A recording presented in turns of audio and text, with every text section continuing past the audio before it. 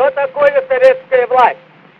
В чем заключается сущность этой новой власти, которой не хотят или не могут понять еще в большинстве стран?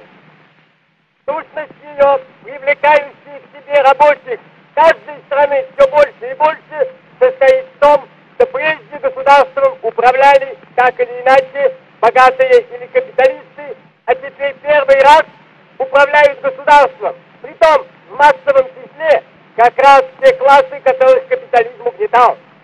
Даже в самой демократической, даже в самой свободной республике, пока остается господство капитала, пока земля остается в частной собственности, государством всегда управляет небольшое меньшинство, взятое на 90-х из капиталистов или из богатых.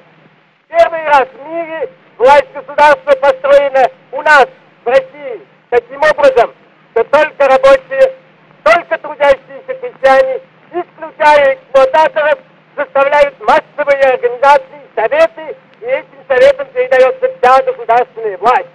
Вот почему, как ни клевещут на Россию, представители буржуазии во всех странах, а везде в мире слово «совет» стало не только понятным, стало популярным, стало любимым для рабочих, для всех трудящихся. И вот почему советская власть, каковы бы ни были преследования коммунизма в разных странах, советская власть неминуема, неизбежно и в недалеком будущем победит во всем мире. Мы хорошо знаем, что у нас еще много недостатков в организации советской власти. Советская власть не чудесный талисман.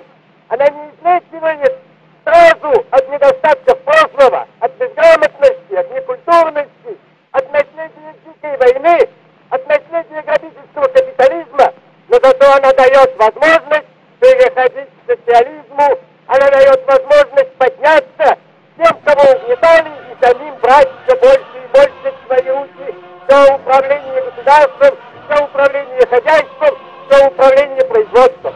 Советская власть есть путь к социализму, найденный массами трудящихся, и потому верный, и потому непобедимый.